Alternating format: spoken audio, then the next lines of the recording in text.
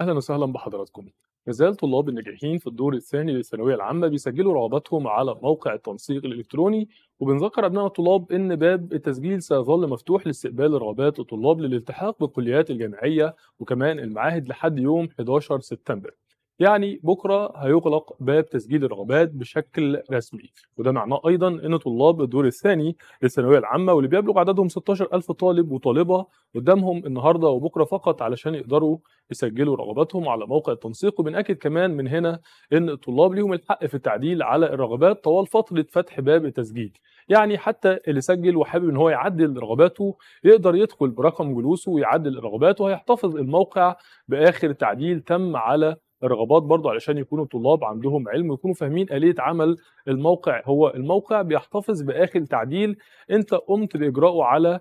رغباتك في موقع التنسيق الطلاب يقدروا زي ما قلت لحضراتكم يسجلوا رغباتهم بعدة طرق من بينها الجهاز الحاسب الآلي الخاص بالطالب وطبعا لازم يكون متصل بالإنترنت وده على مدار ال 24 ساعة أو من خلال معامل التنسيق الموجودة بالجامعات الحكومية وده هيكون في مواعيد العمل الرسمية. مكتب التنسيق أوضح أنه هيتم إعلان نتيجة المرحلة الثالثة كاملة بعد إغلاق موقع التنسيق الإلكتروني والانتهاء من عمليات المراجعة بشكل كامل. بعدها هيتم فتح موقع التنسيق الإلكتروني قدام الطلاب علشان يتلقى رغباتهم في مرحلة تقليل الاغتراب وفقا للشروط والقواعد والنسبة المقررة اللي أقرها المجلس الأعلى للجامعات. خليني كمان أقول لحضراتكم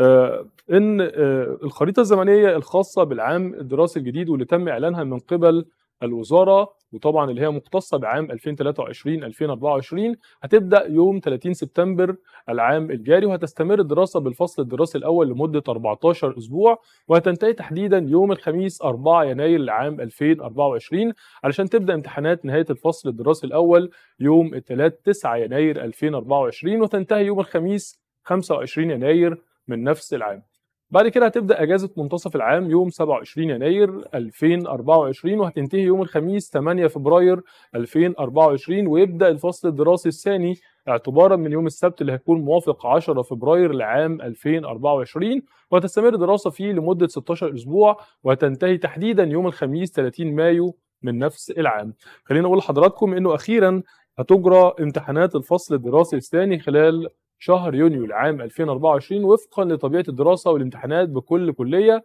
وطبعا في النهاية بنتمنى كل التوفيق لطلاب الحاصلين على شهادة الثانوية العامة في المرحلة الدراسية الجديدة من حياتهم بشكر حضراتكم على حسن المتابعة وإلى اللقاء.